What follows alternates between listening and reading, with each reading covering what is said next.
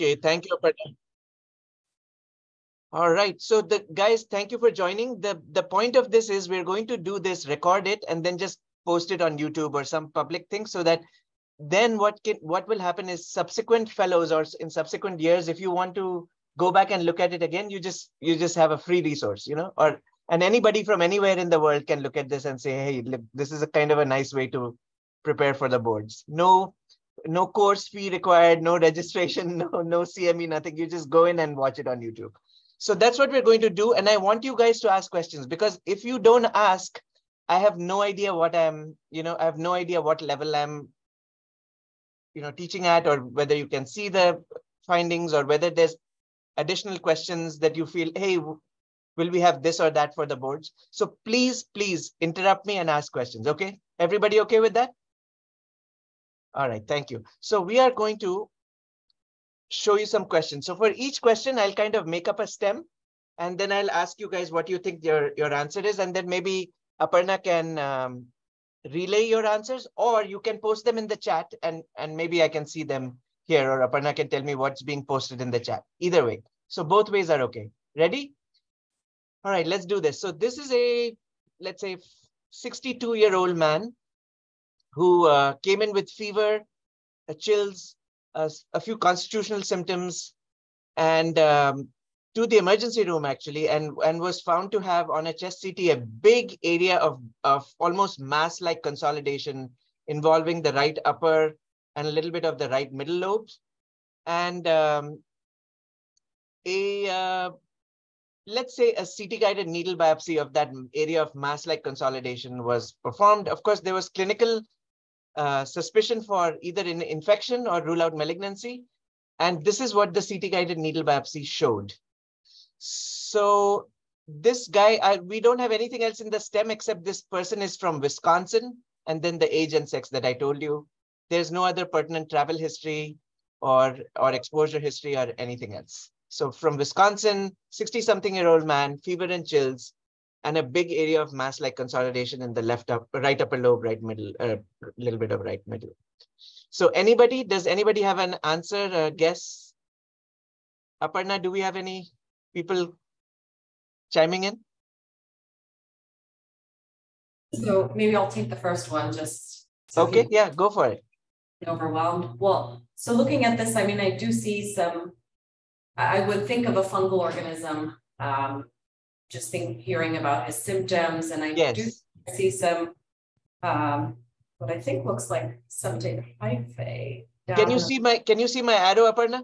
Yes. Okay, so you're saying you see hyphae, right? Yeah. So let me let me point to a couple of things and you tell me what they are. All right. So I but pointing to this. What is that, Aparna? That thing there? Like here? I'm not sure this one and that one and that and this and this. Yeah. Can you see the arrow? I wonder if I can use a different kind of pointer. Is there a way to do it or no? I think so. Uh, the bottom left corner, do you see anything? Let's try this. Let's try this and see if I can. So how about this? Do you see that? The annotation? Yeah. What are those? Do you guys see those things? The reason I'm showing you those is those are just the nuclei of the background histiocytes. So that's something you want to tune out, right? So that's the background inflammatory reaction. The thing that is really where the money is, is this thing here. Is that what you were calling hyphae, Aparna? Uh, no, actually lower down. I lower down. It... So like here? Yeah. So those four things are all nuclei. One, two, three, four. Those are all nuclei of uh, histiocytes. And the reason there's so many histiocytes here is this is a sort of granulomatous reaction to the organism. So the money is not there, it's actually here. This circle and this circle. Now can you tell what it is?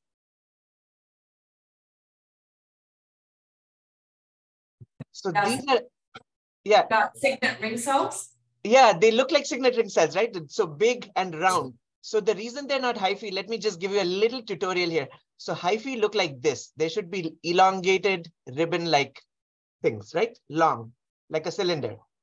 Yeasts are round. So you want to first, when you think something is a fungus, say, is it round or is it long? If it's long, you're dealing with hyphae, and then you're dealing with things like aspergillus, mucor, right? That group. If you're yeah. dealing with a yeast around something round, you're dealing with either histoplasma, cryptococcus, blastomyces, or coccidioides. Those are should be your four things on it. So is this round or is it elongated? It should be round. Round, right. So that's what these things are. So you are absolutely correct about fungus, except that these are not hyphae, they are yeasts. So they are round. And now you see there's like a one round here and another round there. Any idea why there are two rounds together?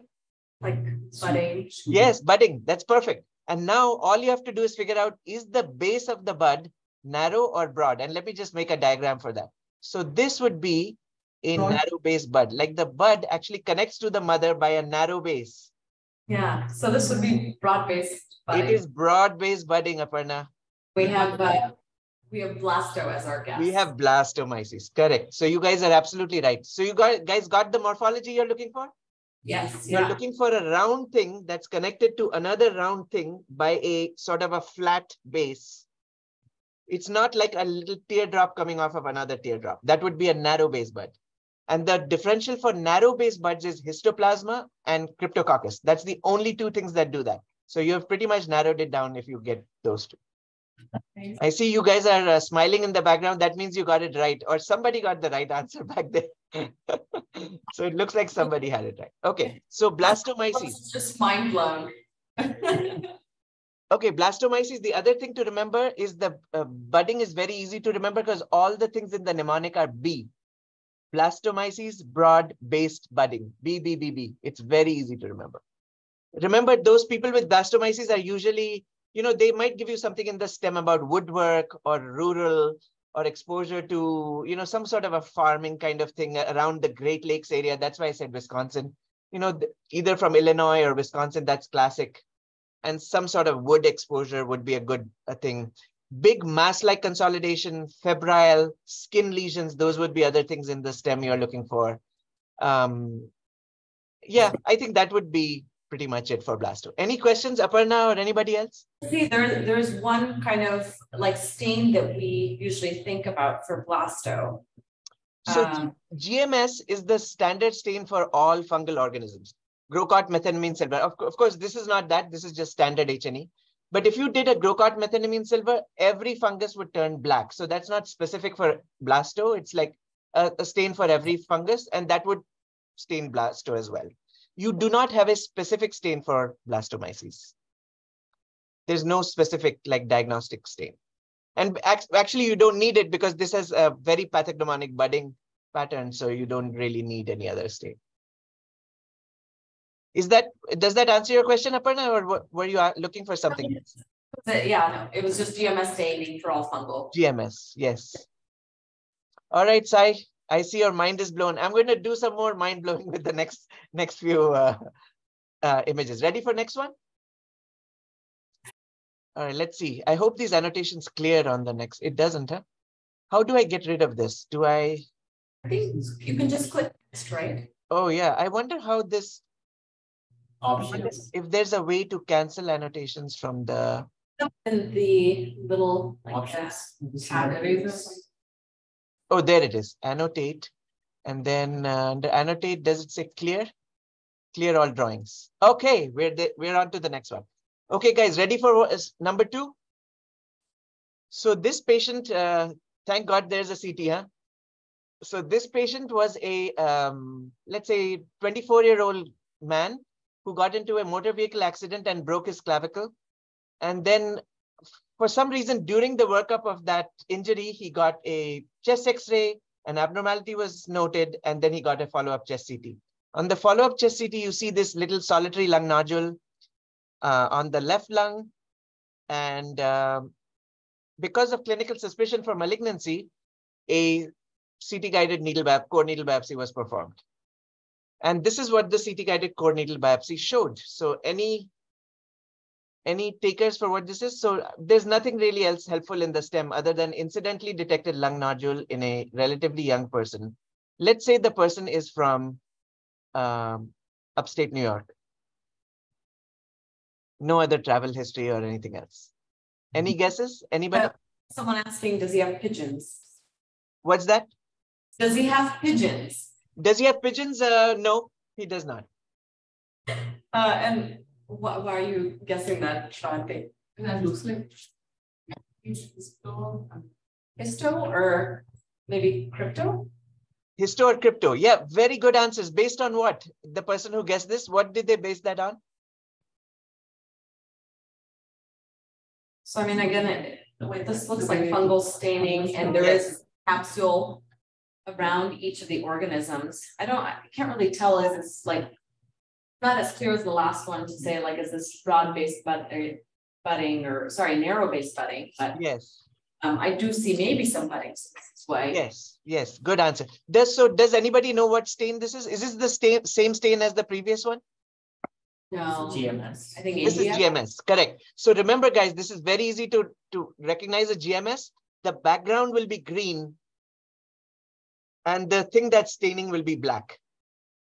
That's as easy as it gets. The background is green and the organism is black. So if you see that, you know it's a GMS. And if you see a GMS, you pretty much know it's a fungus because that's why they would have done it, right? That's why they're giving you that stain.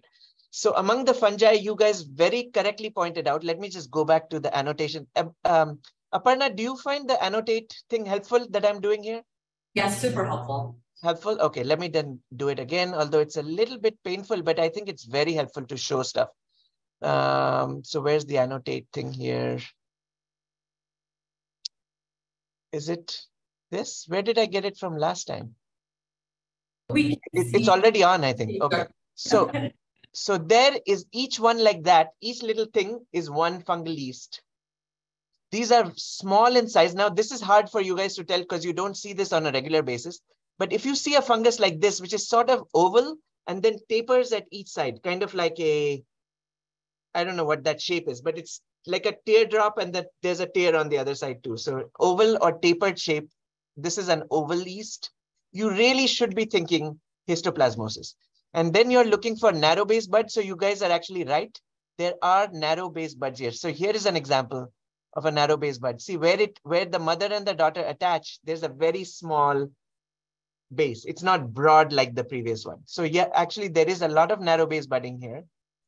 And then Aparna and, and folks, if I asked you, do these yeasts looks roughly the same in size or are they markedly variable from yeast to yeast? What would you say? The same, though there are maybe some larger. They're all about the same. Yeah, so that's very helpful also for histoplasma. In histoplasma, they're all the same in size, very uniform in size, which is about two to five microns, but there's no way to tell the exact size from most pictures that people give you in the boards or even under a microscope. So you have to go by uniformity. They're all uniform. They are uh, they show narrow base budding, and that's virtually then diagnostic of histoplasma. Also, the stem is right, right? Because you're in the in an endemic area like upstate New York or Ohio, Mississippi River Valley, to find a solitary lung nodule like this, uh, being a histoplasma granuloma is actually very common. So it's not at not at all um, surprising that this patient has a histoplasmoma.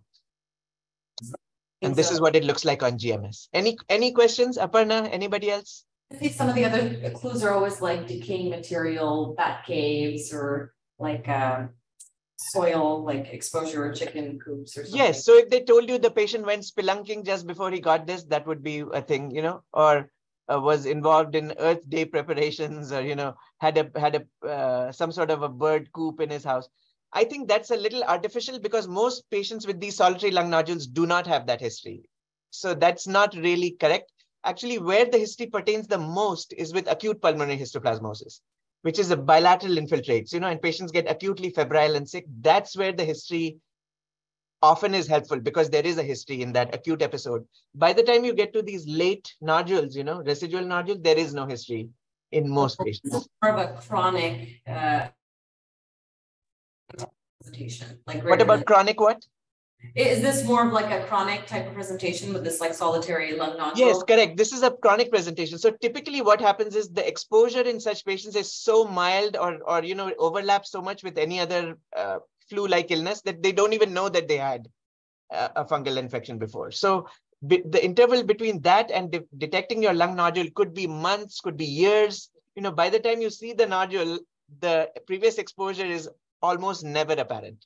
So this would almost always be an incidental discovery uh, without any prior history. So you wouldn't clinically, you wouldn't have any clues. Um, so it, it's it's a difficult diagnosis to make clinically. That's why you need a biopsy, right? If you if you had a obvious clinical history, it would be much much easier. We do have a question here. Sure. Can you see this on a H&E staining? Um, so Shravanti has a question, if you could see this on H and E staining, or would you need GMS? in? Yeah, that's a great question. Great, because it's right up my alley. You know, I've written several papers on this issue. So the, the, the answer is, so in these old residual nodules, like you're seeing here, you know, that cause a single lung nodule in an incidentally discovered in an immunocompetent patient, you actually do not see the organisms on H&E. All you see is a necrotizing granuloma. And when you look at that at high magnification, you cannot see the bugs. It's invisible. Even though they're there, they're invisible. So when you do a GMS, it looks like this and you can make the diagnosis. Now, the opposite situation of that is disseminated histoplasmosis, where patients are immunocompromised. You know this usual settings, HIV AIDS and transplants and so forth. In those patients, the organisms fill up histiocytes. They don't cause a necrotizing granuloma. And in those histiocytes, you can see the bug on H&E. So the ability to see the bug on H&E actually tells you that the patient is immunocompromised and this, this infection is probably already disseminated. So that's a great question. Uh, the visibility on H&E is a surrogate marker for immunocompromised state and dissemination. Do you guys understand that? Yeah. Yeah. Any other questions? That was a terrific question. Very good. Anyone else? No? All right, let's clear this uh, drawing and let's go to the next one. I think I have to also X out of this. Yeah. All right. So here's my next um, picture. This patient is a, um, a seven, uh, well, let's see, is a 55 year old uh, heart transplant, heart lung transplant recipient who was found to have a 2.5 centimeter PET positive subpleural lung nodule. A uh, CT guided lung biopsy again was performed. Uh, the clinical suspicion was again infection, rule out malignancy, post transplant lymphoproliferative disorder. Those were the differentials. And um, a lung biopsy, CT guided lung biopsy was performed. Thoughts? Anybody? So I think we still see like those same histiocytes maybe that we saw. Yes. earlier. Very good. Yeah, absolutely. That's correct. But then similar, like encapsulated. Yeah. So these are the histiocytes. Would you guys agree that this is a giant cell, guys? You see that? Yeah, mm. we had someone say giant cells. Yeah. And then you said, Aparna, what do you see in it? I'm wondering if these are just like encapsulated organisms, the. Very good. Now, I, I think the jumping to the encapsulated is a little bit of a jump. You're jumping ahead, but I see the point. What you're talking about is this, right, Aparna? This little space? Yeah, Correct. So you're absolutely right. There is an organism and there's a space around it. Now, can you tell me if they are hyphae or yeast? Um, well, they're, they're yeast, right? So They're I. Correct. So you have already narrowed it down to four things. And now Uh, tell me which one of those four it is. talked about blasto and histo, so maybe Correct? probably, I think, uh. Just the one with encapsulation. okay. Anybody? We've got guesses of crypto and cocci, but I, I think crypto is encapsulated, I thought. Yes. So, uh, so the problem. So actually, it is one of your guesses is correct. It is actually Cryptococcus. That's correct. Now, crypto. I'll tell you how to identify that. So these yeasts also show narrow base budding. See that, like that one. There's a narrow base bud there. This kind of a halo around the yeast is very typical of Cryptococcus. You can actually see it in histo too, but if you see it's this clearly, and the the organisms are varying in cell size. Can you see that, Aparna? There's like a big one here then there's a smaller one there. That basically should clinch the diagnosis. So you have an organism with a halo around it. It's a yeast. You have varying cell sizes and you have narrow base budding. But they will actually not make it that hard for you. They will almost always give you a mucicarmine stain along with this. and the mucicarmine stain will be positive in the in the wall of this organism. It's a it's an orange looking stain, and they will tell you it's mucicarmine, pink or orange. So yes, Cryptococcus is the correct answer. Cocci is not correct because Cocci needs what it needs is a big, like a big organ organism like that, and then there'll be like smaller ones inside it like this. And this big one will have like a like a thick wall. So the big thing is called a spherule, and the smaller things inside that are called endospores. So if you see that, then you should be thinking thinking cocci, coccidioides. Also for cocci, they will give you a, uh, usually a hint in the stem. So they'll tell you it's from Arizona or New Mexico or Southern California. If you are not getting that hint in the stem, it's probably not cocci. Now for crypto, you will not get a hint in the stem because crypto is a is not an endemic fungus, right? You can get it anywhere in the world. So maybe that's also a hint that you don't have a, they don't mention the geog geographical location in the stem is sort of a hint towards crypto among the four E's. Is that clear to everybody? Yes. Any Yeah. questions? Aparna, anybody? Any questions? No? All right. We're Okay, good. look, remember, look for the halo in the in crypto. That will be helpful to you guys when you when you get a real case. And remember the remember to look for mucicarmine. If there's a mucicarmine stain, it's got to be crypto if it's positive. All right, let's go to the next case. All right, guys. So uh this is this is difficult. Let's skip this. Let's go to this one. I think this is a great one. Let's go to, um, so the stem for this one is this patient is a 63 year old renal transplant recipient who for uh, the past three or four weeks has been developing increasing weakness, constitutional symptoms, weakness, malaise, fatigue, a, a little bit of cough, very mild dyspnea, but really weakness, malaise, fatigue, fever, um, and then was you know worked up and found to have profound thrombocytopenia uh, and leukopenia.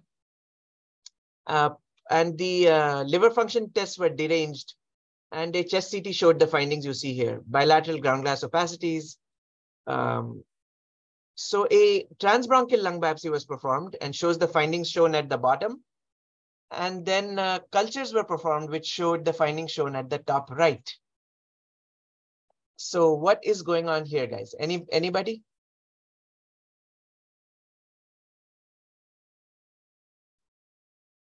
So, I mean, the top right, that stain I can see, and this is what I would call probably hyphae.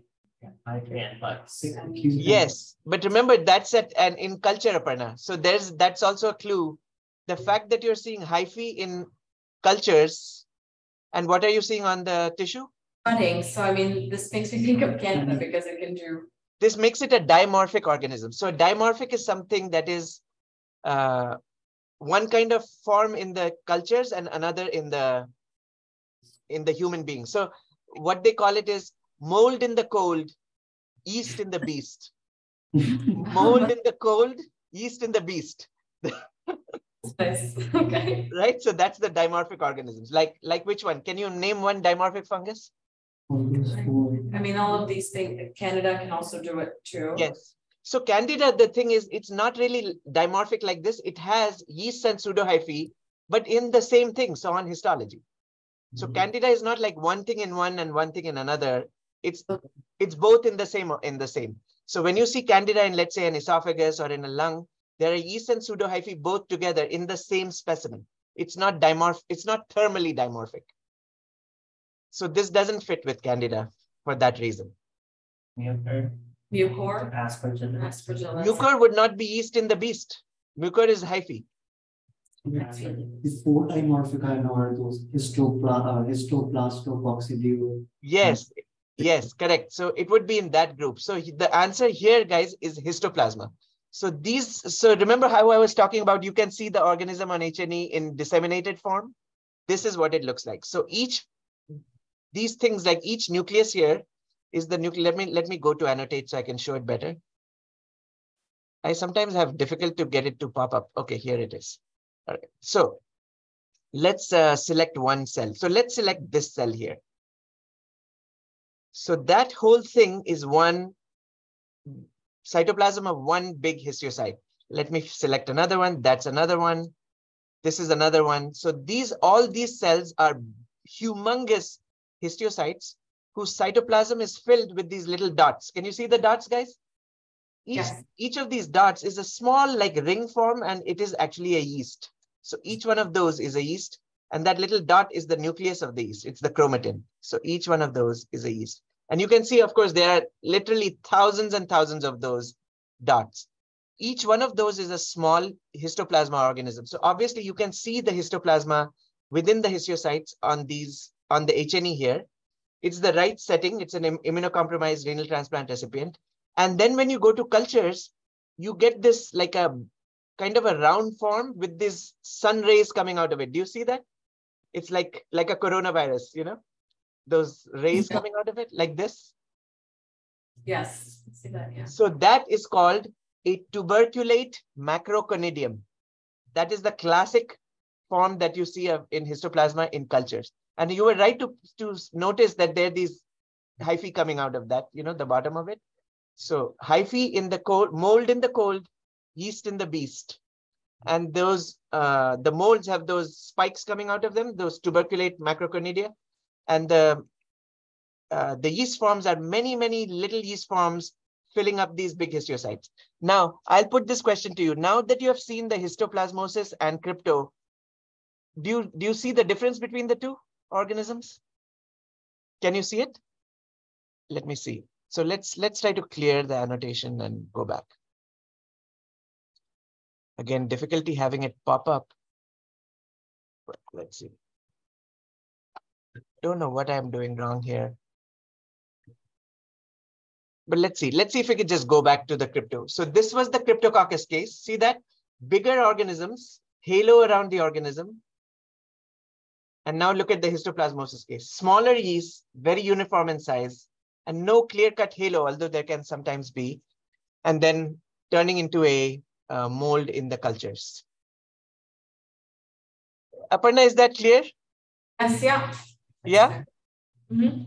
Okay, so you will actually, I am pretty sure they will give you a case of, if they're going to give you histoplasmosis, they will give you a disseminated one. Chances are very remote that they'll actually give you a, a lung nodule like I gave you before. They will give you this form of the disease where you can see the organisms, the patient is immunocompromised and so forth. So just things to remember. All right, here's another stem for you guys. So this patient was a um, HIV AIDS patient with a very low CD4 count, came in with extremely hypoxic to the emergency room. And on chest CT, you saw, saw diffuse bilateral ground glass opacities. Transbronchial biopsy was performed and showed this finding.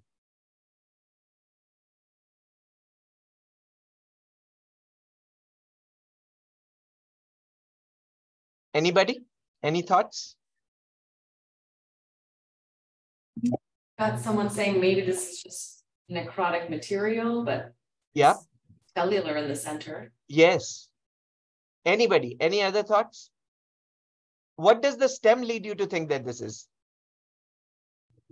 PJP, right? I mean. Right, right. So you don't want to buy it from the histology? Um, Yeah. Probably need to use a different stain, maybe. Yeah, yeah, maybe, maybe I should have given you a different stain, but this is just H&E stain, high magnification. And you know, the thing you have to remember with P- PJP is it, it looks like froth or like wh- what you call necrotic material. It looks frothy, it's pink. It has this bubbly appearance in the middle. And in that, uh, in that bubbly material, you see these little dots. So it's a frothy material with little dots inside and it's in the alveolar lumen. So it's really inside the alveoli. I'm trying to get this annotation to pop up, but it doesn't. Uh, this is what it looks like. So it's this froth, which is all this stuff. And in the froth, you see little dots like that. Froth with dots.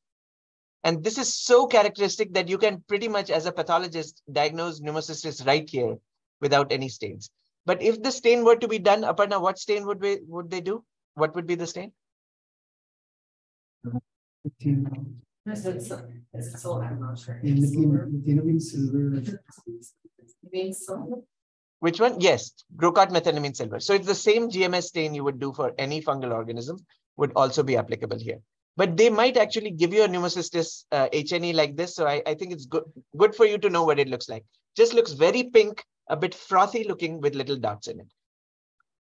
Okay, everybody clear? Yes, yeah. All right, so let's move on to the next one. All right, what do you guys, I'm not going to give you any stem. Anybody knows what this is? We have already seen it before.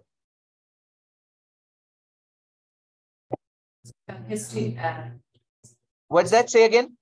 we've got a guess of histo. Yes, correct. This is disseminated histoplasmosis. You see, it's the same, uh, same morphology. Big macrophages with lots of little dots in them. So yes, and, and similar stem would apply.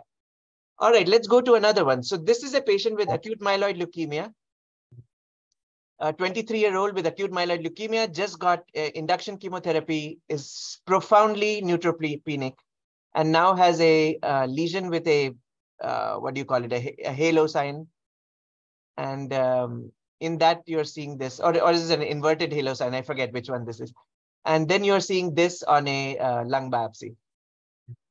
Think probably unanimously, we're all guessing aspergillus. Yes, correct. And can you guys, anybody tell me what the features are? What stain is it and what are you seeing here? Um, so I mean, it's that like narrow septated hyphae, Correct. usually see for aspergillus. So Aparna, do you see now the difference between hyphae and yeast? Yes, Yeah. yeah. So elongated, Yes, little shaped yeah. things, right? Yeah. Okay, what else? Where do you guys see the septa? Can you actually see them? Yeah. Yeah. I'm trying to get the annotate again. As usual, I'm flailing around for the annotate thing to work. Um, but yeah, the septa are, do you see my arrow, the white arrow? Mhm. Yes. These are the septa. One septum here, one here. This is a very beautiful one here. Mhm. So lots of septa. This, the walls of them are uh, basically parallel. Sometimes they branch like here. This one is branching here at an acute angle. So if you see that, chances are this is aspergillus, you know, in any setting.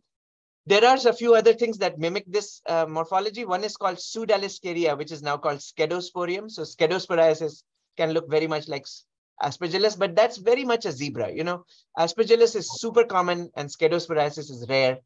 So things like Fusarium and Scedosporium uh, can look like this, but are much less common. And you, you know, you can virtually guess this from the stem, right? Profound neutropenia, acute myeloid leukemia, and all that. So I think this should be a fairly easy diagnosis to make. So is it halo or or or reverse halo? Which one is it for? It's For- halo, What's that? Sorry. halo sign. Halo sign, yeah, yeah. So the ground glass is on the outside and the consolidation on the inside, right? What would be reverse halo? So what would be gra- uh, ground glass in the middle and con- consolidation on the outside?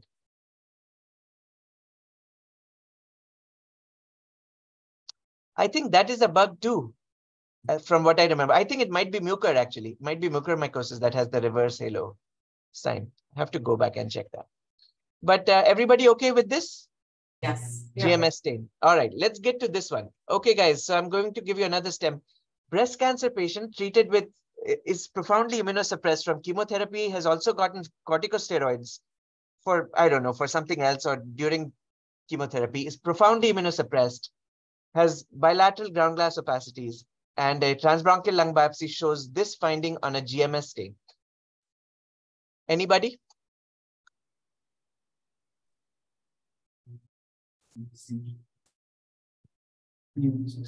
So I think uh, when we think of GMS, we think fungal. So Very good. But then we're seeing some broad-based fun. Yeah, that is tricky, isn't it? This one. This one is tricky because they're just two two of But these cysts next to each other. It's not actually budding, it's an, just an artifact. just like, The key is in the shape of these, Aparna. Like these little, do you, anything you see in the shape of these organisms that's slightly different than the other ones? What would you describe it as? What do they, what does this one look like? The one I'm pointing at now? sickle shaped type of. Yeah, sickle shaped or like a cup or a saucer or a helmet. Do you agree? So what would this be then? Someone has guessed PJP helmets. That's correct. They're right. So this is pneumocystis on a GMS stain. This is what it looks like. So on the H&E, you get that froth with dots appearance. And when you stain it with a GMS, it turns black like any other fungus, but it has these cup shaped or sickle shaped organisms And often there is a little dot within the cyst. You see that, Aparna? I'm circling it now. Yes, That intracystic dot on the GMS stain is a very good sign for pneumocystis.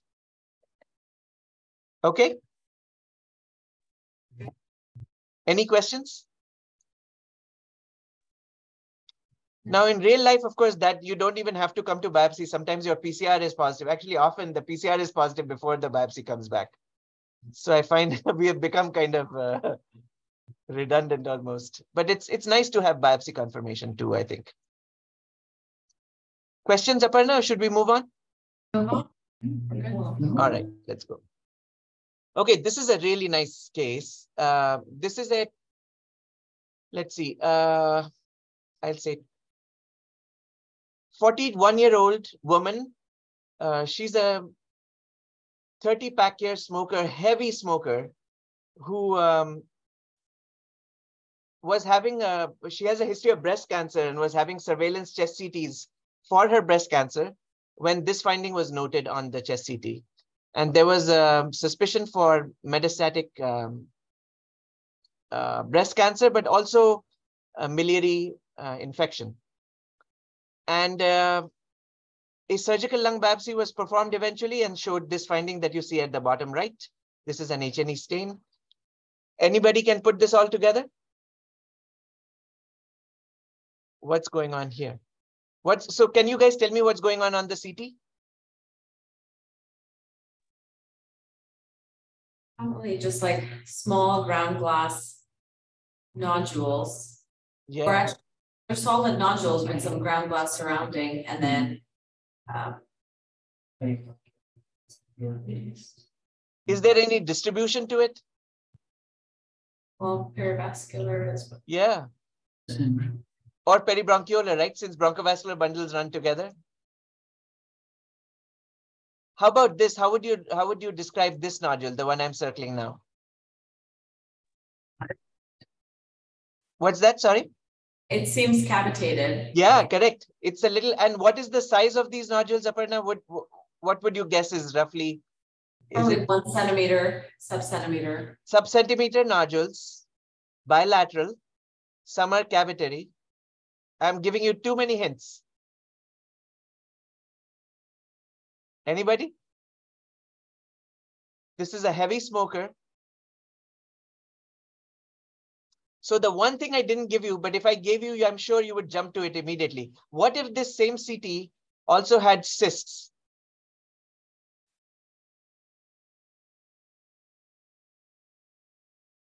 What would you think of then?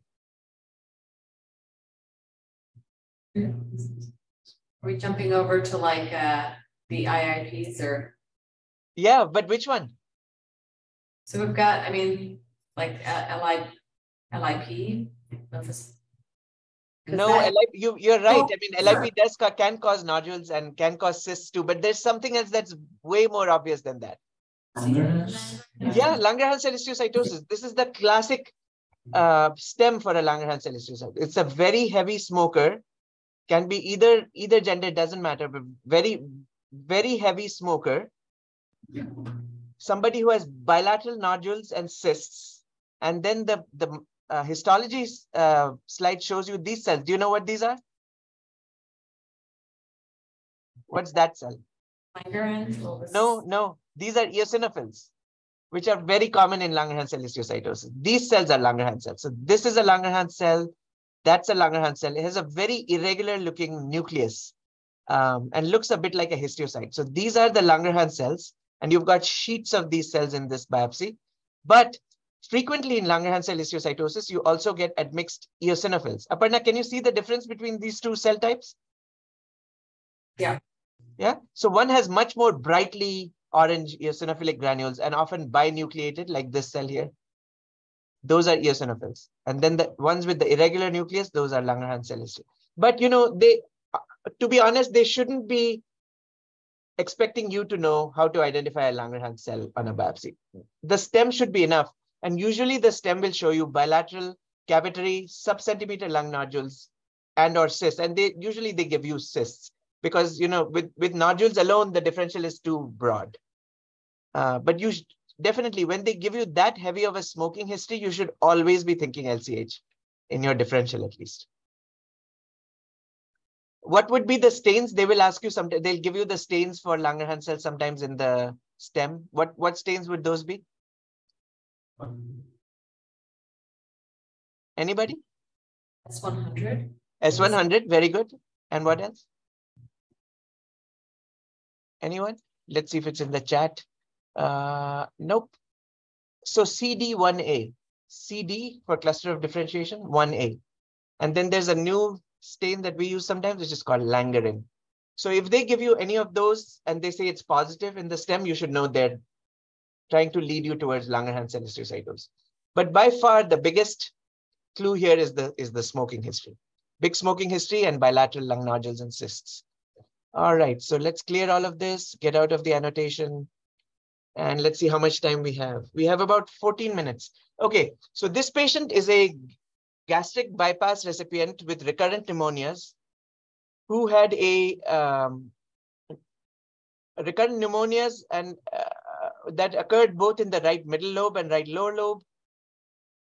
Uh, patients seem to have a history of uh, reflux esophagitis and was um, complaining of, of reflux during, um, you know, when she, when she went to sleep at night or when she was going to bed. So severe reflux, right middle and lower lobe infiltrates, uh, and a history of gastric bypass surgery.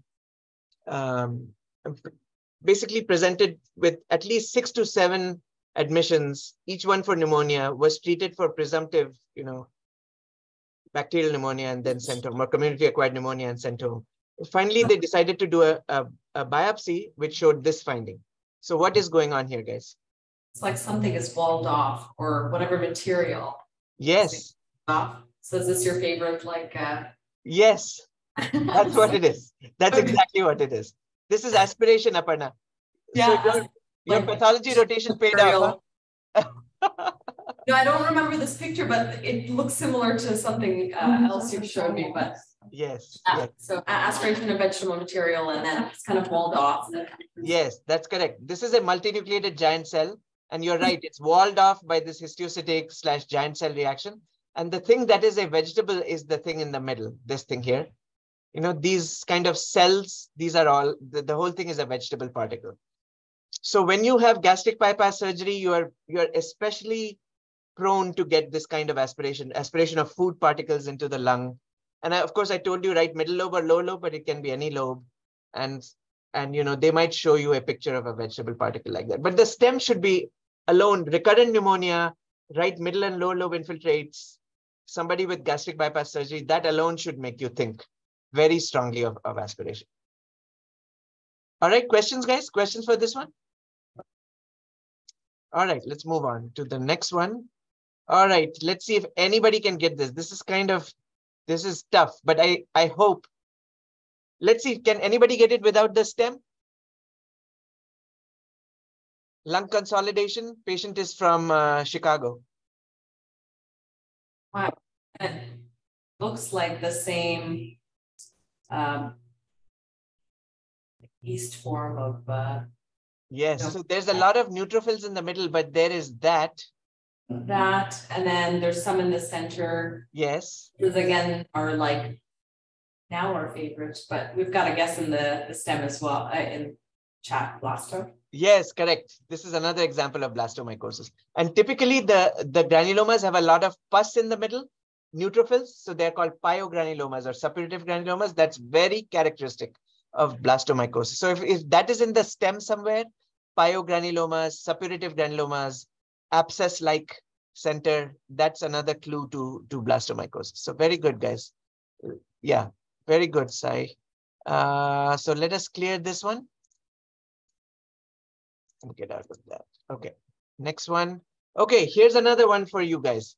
Let's see if you can get this. This patient is a 54 year old never smoker who has been uh, having mild but slightly increasing shortness of breath and dyspnea for a very long time. And now has a slightly low DLCO, mixed obstructive and restrictive pulmonary function abnormalities, relatively mild, and episodic dyspnea uh, which she says that is related somehow to when she when she goes to Florida, it gets better. When she comes back home, it gets worse. Uh, so she eventually had a, a high-res chest CT which showed this finding, and then had a transbronchial biopsy. Anybody for what the CT shows? I guess would be like HP. Yes. What are you seeing on the CT, Aparna? Well, it just has this like mosaicism. Yes. Um, Yeah, we have the side, guessing mosaicism too, so. Yeah, I don't want to mess up the radiology, but I, to me, it, might be that they have the three density sign. To me, like there are areas that are relatively less dense, relative that are more dense and things in between, right? So there's like all three densities or what we used to call the head cheese sign, bilateral ground glass opacities, evidence of air trapping. And then on the biopsy, Aparna, what do you see? Like what is the thing that that makes this consistent with HP? Um, and I, I see a lot of cells, so it's like very. Um, Do you know what those cells are down there in that area? and the guess would be like eosinophils. Those are lymphocytes. Lymphocytes, oh, Remember, Okay. HP does not, even though it says hypersensitivity, there are no eosinophils involved in HP. It's a, Mhm. it's a lymphocytic disease. So very important to remember. The BAL will be lymphocyte heavy. The biopsy will show a lot of lymphocytes. So remember, it's very lymphocyte heavy. And eosinophils are not seen in hypersensitivity pneumonitis. So this is lymphocyte heavy next to the bronchiole. And then what is this? Anybody, Aparna or any of the other folks? This thing that I'm circling now, what is that? It's also next to the bronchiole, but it's not bigger cells, right? Not lymphocytes. What are those cells? Anybody? Multinucleated giant cells. Yeah, very good. That's perfect. So it's a multinucleated giant cells. And so that's all you want for HP from the histology, right? You want them to tell you that there's it's close to the bronchioles or in the interstitium, there's lymphocytes and there's poorly formed granulomas or giant cells. And everything then fits with HP. So this becomes the so-called non-fibrotic HP, which would fit with the stem as well. Questions, anybody about this, about HP, about the pathology, any of that? No. No? Okay, let's move on to the next one. So this might show up in your boards. Definitely non-fibrotic HP is classic enough that it is, it's worth uh, putting in the boards.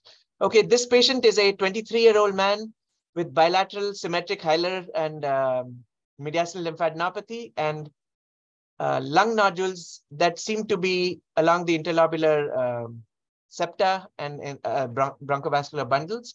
Uh, transbronchial biopsy showed this finding. Diagnosis? We've got sarcoid. Yes, perfect. And everybody's right. I, I maybe I made it too easy, but I think this is just granulomas in the interstitium, non-necrotizing, well-formed granulomas. Uh, and the lung typically, if they if they're good enough picture to show you, the lung away from the granulomas should be normal, which is very different than HPE and hot tub lung and, and even infections and things like that. It's pretty easy. I don't think there'll be any problems with that. Sarcoidosis, just remember non-necrotizing granulomas and remember the stem will, will should tell you classic things. You All right. the. Yeah, question? Yeah, go ahead. Uh, what's the difference, if there is any, between a granuloma and a multinucleated giant cell? A multinucleated giant cell is just a collection of histiocytes that fuse into one big cell. The granuloma, the, the histiocytes come together, but they do not fuse into one. So they're close together, they're clustered, but they don't fuse into one cell. The moment they fuse into one cell where all the nuclei become bunched together, that is a multinucleated giant cell. So they're both different versions of the same thing. Just, you know, they're both histiocyte derived. So your question is well taken. And they often occur together, but, but a granuloma is just clustered cells. They don't have to fuse into one big giant cell. Does that make sense? Yes, yeah, and then in, um, there's another chat question, is that eosinophilic material in the three Yes, probably is. Yeah. Uh, so a little bit of necrosis, Sai, you're, you're correct. There's probably a little bit of necrosis in this granuloma, and that is allowed in sarcoidosis. And I guess more, oh, Yeah. sorry, Yeah, go ahead. my follow-up would be like, you know, granulomas that you would see typically in like ILDs versus like a necrotizing one from like infection. Yes. Uh, How would you distinguish that from like this? Because you're still seeing some like necrotic material. Yes. So what you have to do is make a good faith attempt to find bugs. So Okay. in necrosis, what happens is the, the more the more necrosis there is, the more the likelihood that that, that is an infectious granuloma. So when you have lots of necrosis everywhere, that is very, very likely to be um, mycobacterial or fungal infection, very low to be sarcoid. When you have a little bit like necrosis like this, it can go both ways, right? So you have to do your AFB and GMS stains. You have to hope that the bronchoscopist send material for cultures. And then when everything comes back negative, then it's likely that this is sarcoidosis, provided everything else fits, right? So it's well-formed, interstitial lung away is normal. The clinical setting is right. So sarcoidosis in that setting needs more evidence if there's a little bit of necrosis here and there. But from the pathologist point of view, all we can do is do those special stains and, and look for bugs in them. Thank you. Make sense?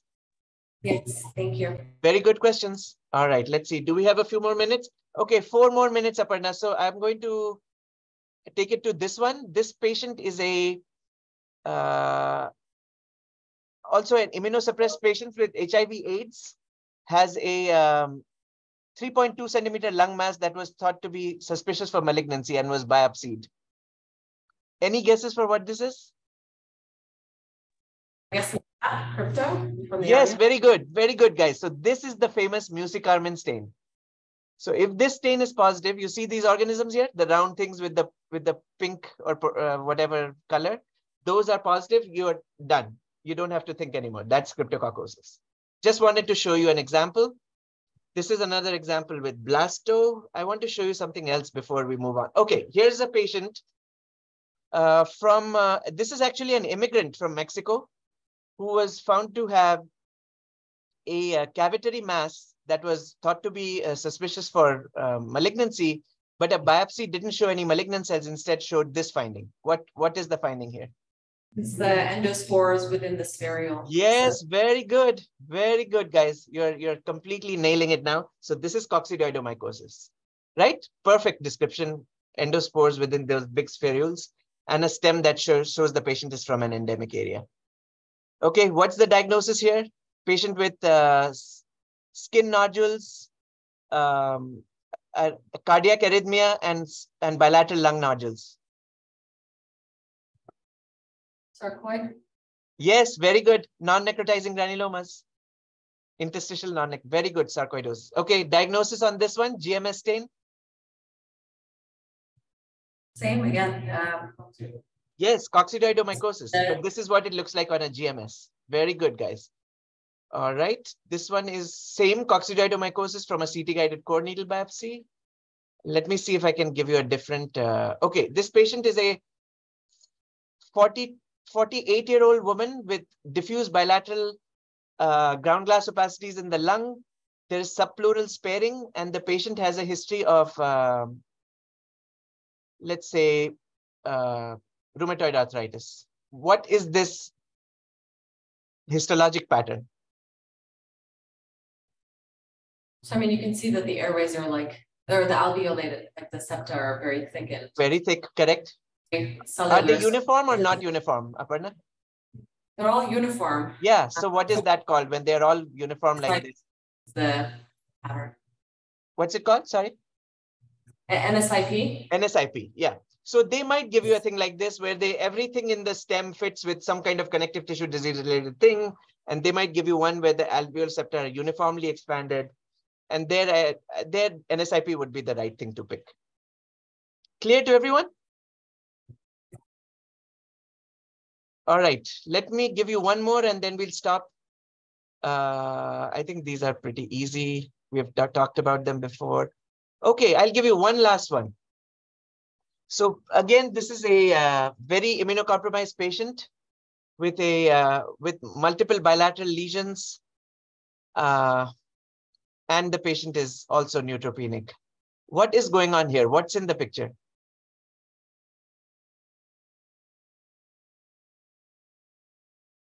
So they're, we've got comments that there are two things like, they're both hyphae, Yes, be some. Um, spherules that we're seeing. I don't think there are spherules.